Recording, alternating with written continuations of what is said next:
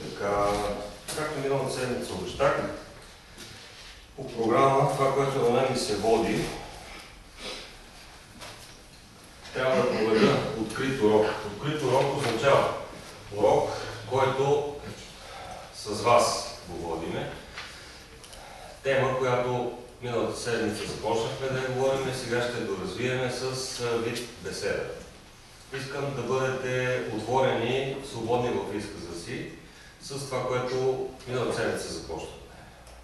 Видеозаснемането няма да бъде публикувано в интернет, ще бъде споделено с колегите, директора и цялата общност, която е на училището, по няколко причини.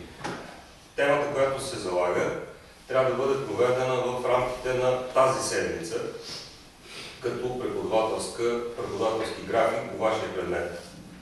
Не мога да го измествам по причини, че примерно отсъстват колеги, тук е госпожа Берка Петкова, която в момента изпълнява длъжността директор на училището и е главен учител в нашето училище. От тук нататък колегите, ако искат да се запознаят с това какво аз работя с вас, те ще го направят.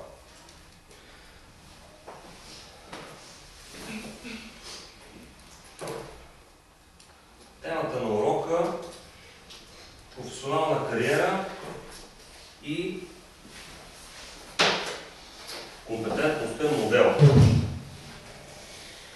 Добър ден,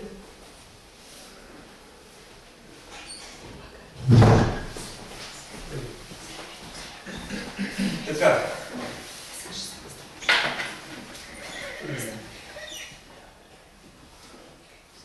За информация на колегите и хората, които евентуално се интересуват от проверяване на процедурното време, което имаме за работа, ще се разправят, обръщайте внимание, заповядай, Мария. Процедурното време не е точно 40 минути.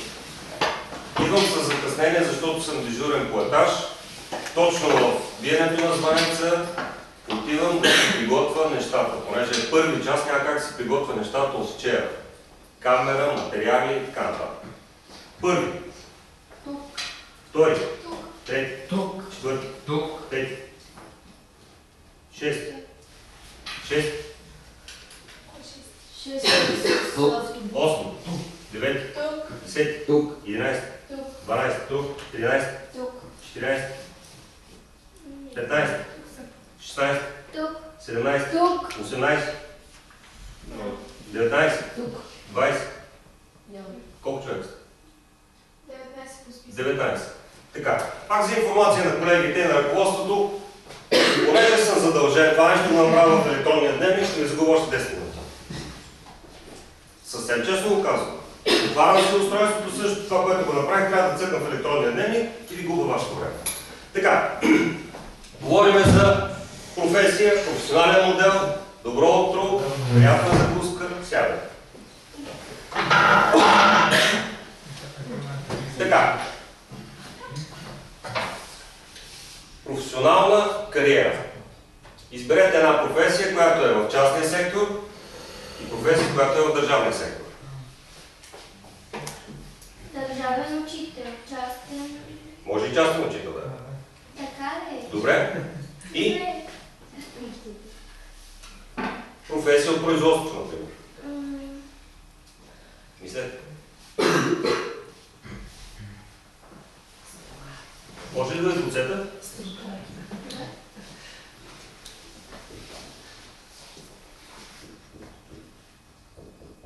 Има ли някой, който пише по-хубаво от мен? Аз. Айде.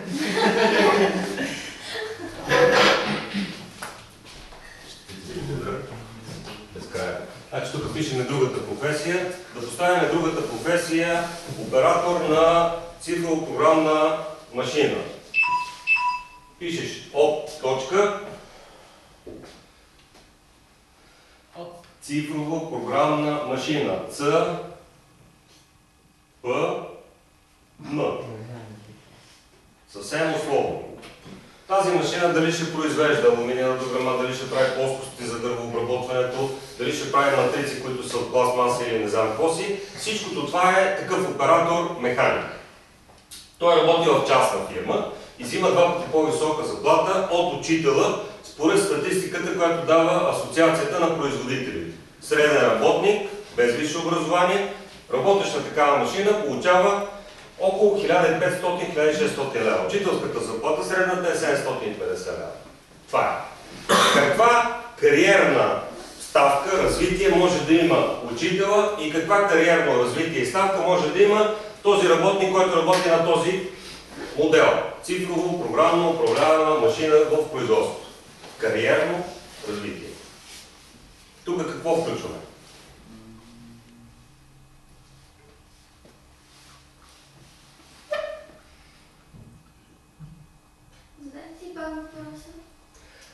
Кариера означава да надграждаш над основата на професията, да се развиваш в Да. професията. За учителя, какъв вид кариера може да развие? Основни знания, компетентни, а, компетентности, какви се изискват за учителя? Да общува с хората. Общителност, друго. Да работи в екип. Работи в екип, друго. М, Трябва ли да има компетенции по областта, която Е, преподава? със сигурност трябва да има компетенции. Добре. Иначе няма как. На Как- какво ще учи учениците? Спомняте ли си как ги обяснявахме тези компетенции? Какви са? Меки компетенции. Това са компетенции, които са специфични за всички видове професии. Може да напишеш меки компетенции, общителност. Сега мислете, а, запиши тези, които ги изредихме. Сещаш ли се кои са? Меки компетенции. Същите компетенции биха ли били подходящи и за работника, който работи на цифро, цифрово процесорната машина? Не, Защо? защото той работи с машини, а не с хора. Добре. Документацията за тази машина, кой му предоставя? Ами, Има ли пряк контакт с хора, които му предоставят тази информация?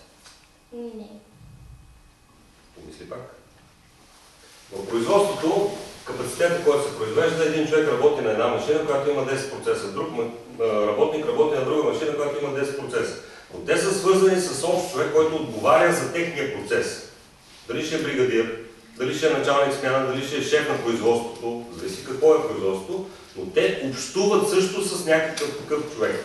В момента, в който този човек занесе документацията и каже на работника, разгледай документацията, искам от тебе да ми кажеш мнението си, приложимо ли е за процесите, които управляват твоята машина. Значи той трябва да има компетенциите за тази машина, спецификации, процесорни действия, необходими материали, консумативи, разходи и така нататък. И ми кажи този детайл, който искаме да го изработи тази машина, възможен ли е? Работника, ако е дръпнат, не му се общува и му казва, това не е моя работа. Разбери си я ти. Това общуване ли е?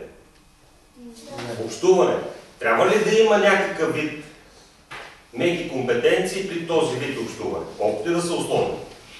Е, трябва да има, за да може по някакъв начин да се общува с тази началник. Така. Значи, меките компетенции, за които говорим, нали, условно ги събираме в едно, при учителя трябва да бъдат в а, много детайлен вид конкретизирани. Защото в някои случаи се оказва, че учителят може да бъде тесен специалист, но да му липсват тези меки компетенции, които са общителност, толерантност, търпимост. търпимост. Има случаи, в които, примерно, учител, това съвсем отговорно го казвам, учител заявява, аз не желая да работя с цигани. Няма обяснение, няма защо, няма такова. Аз не да работя с цигани. Това какво е? Сегрегация? Сегрегация. Второто. Аз отказвам да работя с деца с увреждане. Компетенции, нали, директно се отказва. Тук вече меките компетенции при този учител отиват в другата полярност, която на него му вредят на пряката работа. Защо? Защото когато вие сте един клас и в този клас Катин, който е незрящ, аз обърна внимание съгласно неговите специфични нужди, това, което го преподавам в момента, той да го има като информация. Преди малко разговарях с майка му какъв да бъде начинът и позволих да се прави аудиозапис на беседите и на практическите задачи. По този начин той ще има възможност вкъщи да си дослушва и доразвива това, което е. Ако иска да си го записва, машина набрал, работи, това вече е негов избор. Но аз трябва да се съобра- съобразя с него. В момента, в който кажа, аз не искам да работя с него, няма как да го направя, защото вие сте един клас. Трябва да го направя. Същото нещо, например, в производството. Този работник. Той не може да каже, аз не искам да работя с прекия ми началник. Нямаш право. Той ти е началник, ти трябва да изпълняваш, ако искаш да изкарваш заплатата си. Така, развитието в кариерата при учителите става, когато се развиват твърди компетенции. Напиши отдолу твърди компетенции. Само като записване ще ги уточним. Спомняте ли си какво бяха твърди компетенции? Да или не? Да не играе? Значи твърдите компетенции са свързани с пряката преподавателска работа и спецификата на преподавателската работа на учител. Преподавам музика. Имам твърди компетенции да преподавам гадулка, народно пеене. Обаче изведнъж се открива една възможност да преподавам технологии и предприемачество. Това е много интересен момент. Защо го преподавам? Някой има ли обяснение? Значи един логичен отговор е, че примерно няма кой да го преподава. Това е най-логичният отговор. Вторият логичен отговор е, че примерно а, аз бих могъл да се справя, защото всяка една професия, с която мога да свържа моята работа, мога да ви го предам на вас като условно познание. Ако професия. се увеличават а, самите ам, часове, които преподава един учител, както сега на, на даден учител, без да споменам имена, не му достигаха часове. Така. Блъскаха разни други, за да може да се приема норматив. Добре. Само, че аз ще използвам един абзац. Така. Това е терминологичният език на учебник. При цялото ми уважение към хората, които са го направили. При положение, че до 7 клас децата са правили от картонче, от хартийки, моделчета и други неща, които знаете часовете какви са, сега изведнъж отиваме в един сложен език, който е съгласуване на очакванията на неопитните кадри с тези на работодателите. Друга особеност на професионалното развитие, която е необходимо да се вземе предвид, е времето нужно за съгласуване на очакването от новото работно място между работник и бъдещия работодател. Интересите са Интересни са данните от социологическо проучване, проведено през 2016 година в Англия. Според тях 19 от 20 висшисти са сменили поне едно работно място в рамките на 3 години след придобиване на висше образование и така нататък. След третото изречение, помните ли нещо, което не. Значи тази терминология в случая е излишна. Моята работа е да го прочита с прости думи, да ви го скажа с прости думи, за да може вие за вас да направите избора, който да свържете от една страна мечтата, която имате, от друга страна реално да си прецените способностите, които имате и които може да доразвивате, за да достигнете до желана професия. Твърдите компетенции включват компетенциите по дадена професия. Твърдите компетенции, свързани с мене, са умение да преподавам това, което знам. Мога да свира, да пея, да го превърна в знание и умение на всеки един ученик, с който работя индивидуално обучение или групово обучение. Тези ученици да могат да развият своите собствени способности, както гласови, музикални или инструменталистки, и да достигнат до а, сцена, която да им даде възможност те да се отговорят на въпроса ставам ли за професионален музикант или музиката мога да използвам като допълнителна специалност, която да бъде част от моя професионален път. По много начини може да бъде част от професионалния път, защото има журналисти, които са свързани с музиката, има тон режисьори в радиа и в телевизии, има всевъзможен друг вид хора, които професията им е свързана по някакъв начин с музиката, но те пряко не са музиканти или професионални музиканти, музициращи на сцена. Така, меките и твърдите компетенции. Твърдите компетенции, които говорим за производството, оператора на цифрово процесорна машина, какви биха могли да бъдат? Твърди компетенции. Специфични за управлението на една такава машина, която да речем е прави алуминиева дограма. Умения. Да. Те са строго специфични професионални умения. За да управляваш една такава машина, какво трябва? Какво да познаваш? Процесите трябва да? Да. Положи- И работа на машината. Точно така. Това се нарича програмното управление, дали ще е софтуера, дали ще е процесите, които са включени в този софтуер. Казвайте го с прости думи. До много голяма степен се притеснявате в момента, защото снима камера. От същата тази причина много колеги учители се притесняват, ако в училище, в стаите има видеозаснемане, защото ние, учителите, по този начин сме представени на сцена. От тази гледна точка аз съм благодетелстван, защото много време съм излизал на сцена и да вика не ме притеснява пред хора да изразявам. Дали е с думи, дали е с музика, това, което мога. И затова имам известно облегчение в тази насока. Други специфични умения, които са свързани с работника, който работи на машината, компютърната, познава софтуера, познава, трябва да познава механика. Да.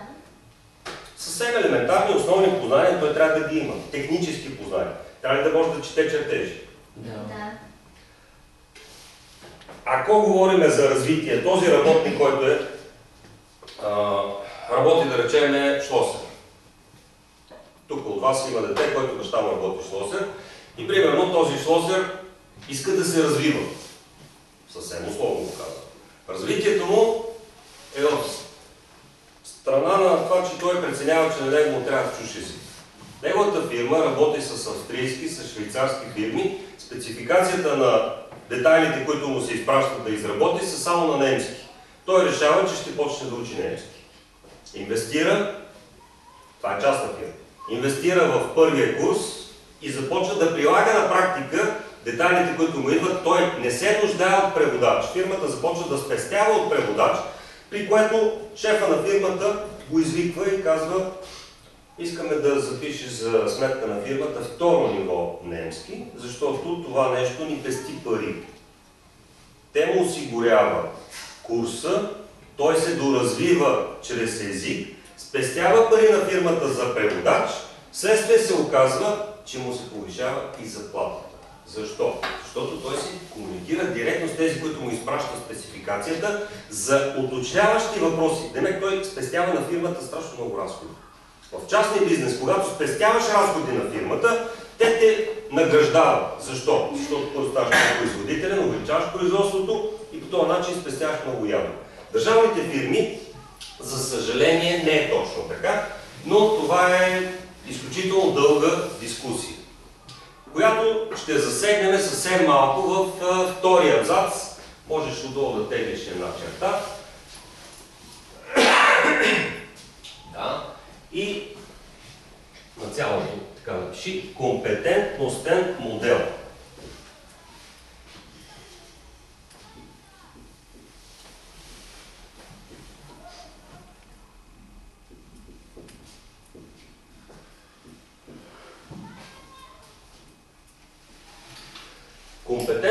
Модел представлява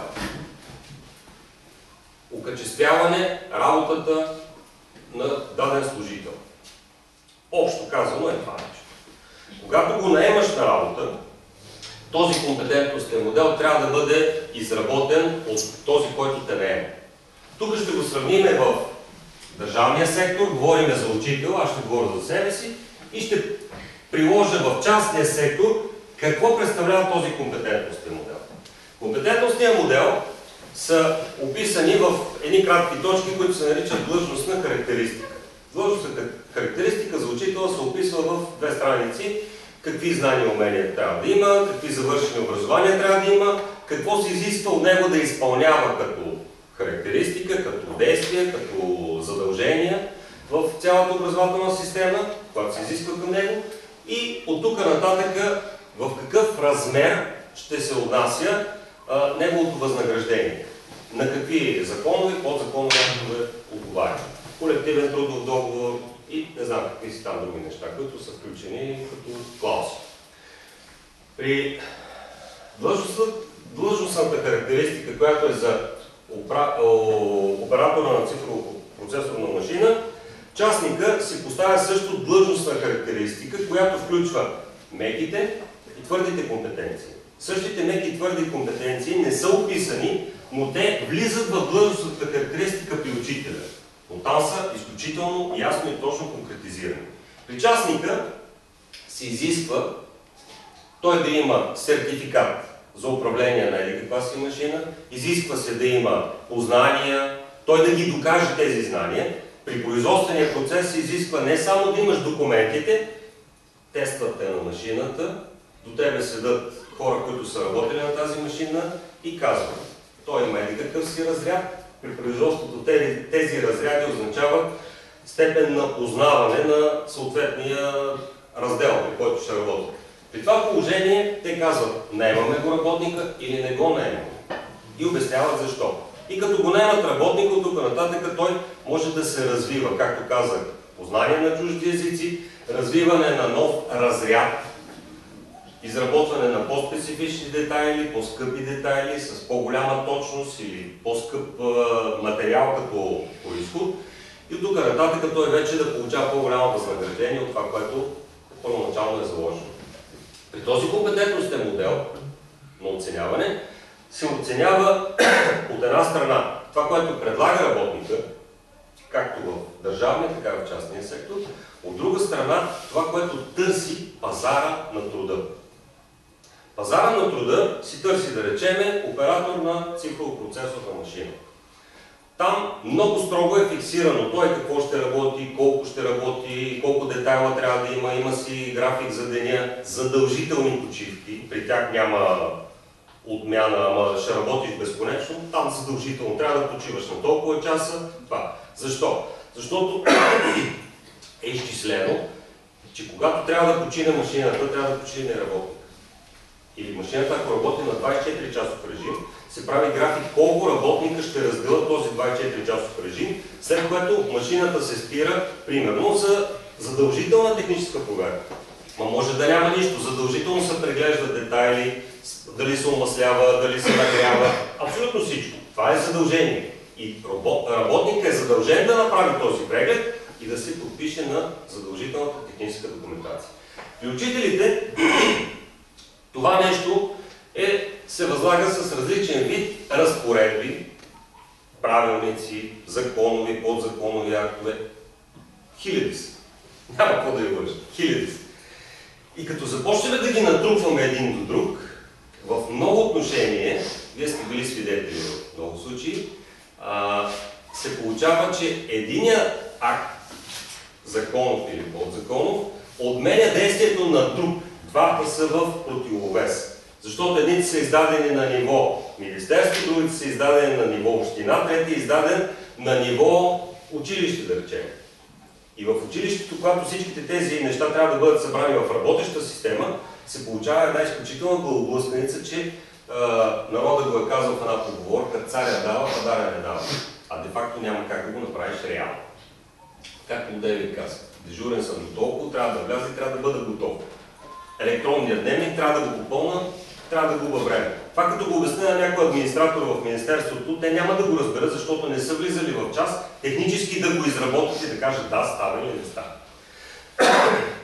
Второто задължение, което при учителите е заложено априори още когато се назначава като учител, преди да преподаваме, да даваме знания, каквото и да било другото, ние да се грижиме за вас за живот и здраве.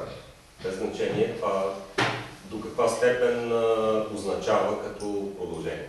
Затова се занимаваме с вас, когато някой има проблем. И затова се занимаваме с а, на пръв поглед доста странични неща, но те влияят примерно на пряката дългорочна работа. Ученик, който закъсва с ученето, ние търсиме проблеми, които са от лично естество, които са от обществено естество, за да може ученика да стигне до там, че да не иска да учи. Това означава, че меките компетенции, които имаме, тази учтителност и познанията свързани с доста нормативна база, която свързва различни институции, закрила на детето, социалната агенция, общинска служба, която е свързана с образованието и регионално управление на образованието, ние трябва да знаем всичките техни изисквания, като законови и подзаконови актове, за да може да вникнем в това, което вас ви касае. И да ви консултираме, евентуално, за напред какво и как да предприемем. Има ли някой от вас, който да иска да стане учител? Защо? Едно, защото според мен заплащането за целият този труд, който полагат учителите, абсолютно е недостатъчно. И всичките тези закони и норми и всичко, което е в противовес едно с друго, според мен някакси няма никаква логика. И аз това искам да попитам, включително и главния учител. Мога да разберам, защо един ученик ако, например, няма 5,50 и не е добър по всички предмети, нали, един вид той не е, не знам как го кажа, престижен ученик или нещо такова. Защо ние трябва да можем всичко и това да ни определя, примерно, дали аз ще взимам стипендия или не. Някакси никой не съм го разбирала, защо един ученик трябва да бъде добър във всичко, а ако не е добър във всичко, значи на някакво средно ниво, а и то не е достатъчно добро. Никога не съм го разбирала и това е моят въпрос към всички учители. Защо аз като една ученичка, която не разбира е толкова от математика, не мога да взема стипендия, защото аз не разбирам от математика, не мога да изкарам достатъчна оценка, за да мога да взема тази стипендия. Но, например, по повечето от другите предмети имам една достатъчна оценка. Такива са законите. Да. Такива са законите. Съгласно правилниците законите, ние учи- учителите не можем да ги променим. Значи такива са правилата, които са спуснати отгоре. Колкото и ние учителите да се опитваме да съобщиме нагоре, че системата на оценяване като цяло в образованието, това е част от системата на оценяване. Първо, системата на оценяване, която е въведена с оценки от 3 до 6, защото 2 не е оценка, с 2 не можеш да направиш нищо, нито диплома можеш да получиш, нито да преминеш клас. Това е оценка, че ти си стигнал дъното. Оценка от 3 до 6 не можеш да окачествиш, да опишеш, а, как да кажа, даже да мотивираш а, знания, които са от 0 до 100%. Колкото и ще да ги смяташ и да ги правиш в точки, запетайки, емотикони и така нататък. Крайна сметка оценката е от 3 до 6 и тя е субективна, защото субекта я пише. И тук вече говорим за една промяна, която се нарича реформа, която тече повече от години и която на практика в много отношения вие сте свидетели, вашия випуск, следващия випуск, предишния випуск, буквално са с различни учебни програми и на мен са ми го споделили ваши съученици, че едва ли не се чувствате като опитни зайчи. Опитни зайчета бяха и преди 30 години едни деца, които бяха в а, една система, която тогава се говореше, че е изключително просперираща, беше грабната от Япония беше вкарана в България. Децата ги взимаха на 6 години, вкарваха ги в училище, седяха по цял ден, спяха в училище. Едни казват, че децата им са станали вундеркинди благодарение на тази система, други казваха, че тези деца са абсолютно неадекватни. Майка ми, която беше начална учителка, казваше, има съществени причини, за да се смята едното и да се смята другото. Защо? Защото тогава първите, които трябваше да докажат, че тази система е идеална, бяха базовите училища. Това бяха училища, които бяха елитните. Там не влизаше който и да е, както и сега. И този, който влизаше, се финансираше там. Обаче децата, които бяха отбрани, деца, които са били до 6-та си година на детска градина, работили са с деца вика отлично CV от детската градина, те отиват в това училище и наистина ще станат вундеркинди. Защо? Защото семействата също ги подкрепят. Останалите деца, които бяха вкарани на 6 години в това училище, и това деца бяха от буквално затънтени квартали, села и не знам какви си е, махали, в които нямаше абсолютно никаква родителска грижа, нямаше нищо. Тези деца не знаеха български. Тези деца ги вкарват на 6 години в училището и казват, вие ще постигнете резултатите, които се постигат при унези. Няма как да стане.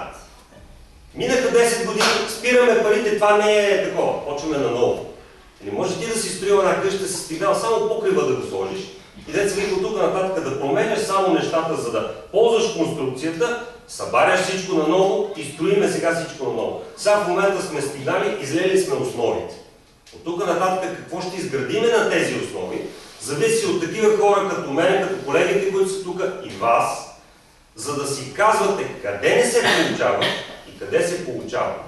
И тези, които се опитват да заобиколят трудностите, просто да кажат те не съществуват, те лъжат системата, че работи. Там, където не работи, просто трябва да си казвам истина. И тук вече са твърдите и меките компетенции при учителите да съчетаеме. Това не работи, защото така, така, така. Честно, ясно, за да бъде направено работещо. А добре, вие така като го кажете, някой изобщо отразява ли? Гледала ли си филма Изкуплението Шоушенк? Да, онзи. Какъв е основният извод за теб от филма? За това, че ти трябва да се бориш, да си упорит и да мислиш в действие. Първо човека, главният герой беше а, осъден несправедливо. Да. Той го знаеше, никой друг не му вярваше. Така ли беше? Да, защото всички... Така. По какъв начин той се бореше с системата? Нали? Там всичко беше показано, че системата ги смазва всички. По какъв начин се бореше с системата? Той изгради. Така? По какъв начин? чрез изпращане на всеки ден в продължение на 6 години Ето по едно писмо. След това изпращаше в продължение на още... Просто системата, системата сме всички ние. Системата сме всички ние. Не съм само аз, не са само колегите, не сте само вие. Много хора са, много деца са. Просто системата трябва да бъде изградена от доверието помежду ни и от това, което сега казвате. Когато знаеш, че нещо не е се събира на едно място като информация. Дали е било то до директора, дали е било до вашия ученически комитет, дали е било в нашия учи- учителски колектив като вид предложение, ако си остане само на приказки, то няма да бъде извършено. Не случайно старите хора са казали, това, което е писано, то остава. Това, което е казано, някъде се обмива или се доразказва като в народните приказки и народните песни. Когато бабата го е казвала, детето го преразказвам вече по него си начин. Не случайно сега се появяват нови народни песни, които се преразказват с нов текст, ново а, състояние, защото има архаични думи, които не, не, не вършат работа днес. Така че това, което е писано и законите, за които говорим, сега трябва да бъдат адаптирани така, че да бъдат работещи. И това, което не ни изнася на нас и мислиме, че може да бъде променено, хубаво да го пишем и да го предлагаме да се променя, за да стигнем до правилното. Никой отвънка не може да дойде да ни нареди как ще бъде правилно. От нас зависи ние да го направим така, че да работи, да бъде полезно за всеки един от тази система. Всеки един от вас е част от тази система. Е, да, обаче много учители нямат нужната упоритост, да, ако искат да постигнат това нещо. Всички карат по по-лесния път и много се дразни на типа учители, които че нямаме други предмети, влизат, преподават си урока, никой нищо не разбира, заспиваме в час. Защо имате двойки, бе, деца? Може ли така? Защо не учите ви?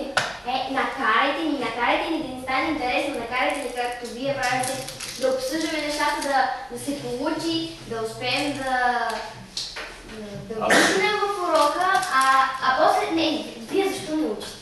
Защо имате двойки? Е, няма да Ще има. да седнеш, аз повече няма да записвам. Благодаря. Значи това е много, много хубав въпрос, как се получава мотивацията. Мотивацията за учене, той и при учителите го. Само, че когато вече си в професията, има терминология за това нещо, тя се казва бърнаут.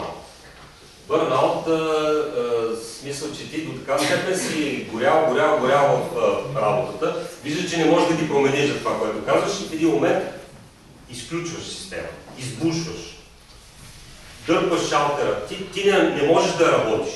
Защо? Защото буквално разбираш, че вървиш и се блъскаш в стената. Блъскаш се стената и, и казваш не мога. Това е психика. Така е.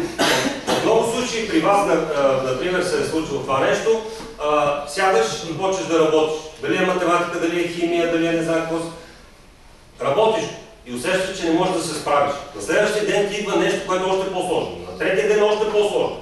Като се случи 2-3 месеца, това е само за една година говорим, ти си изпуснал стъпалата и в един момент хвърляш всичко, викаш и ми не става.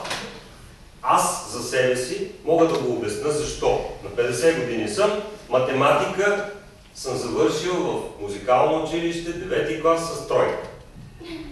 Съвсем често си казвам и ще ви кажа защо. Системата за онази реформа, която говорихме, началният курс беше до трети клас. Първи, втори, трети клас, трима различни учители. Различен вид психика, различен вид преподаване, стил на преподаване. В един момент, четвърти клас беше вече среден курс, отивам, всеки учител, това, което ти сега го казваш, тогава беше още по-зле. Не пее, влиза и казва, от учебника, страница еди коя си, модела еди кой си, тък, тък, тък, тък. Ти, ако си записал, записал, ако не, гледай си работата. Ситото. Който се оцел от ситото, отива и учи в елитната гимназия. Който се оцеля да учи в елитната гимназия, си преценява какво ще бъде. Математическата математика, езиковата езици. Ама езиковата гимназия, половината учители бяха французи, мисля, че от Англия имаше учители, които директно на английски преподаваха биология, химия история. Или звънеца? Заплеснах се. Благодаря ви за часа. Ако имате някакви въпроси, ще продължим другата седмица. Моля?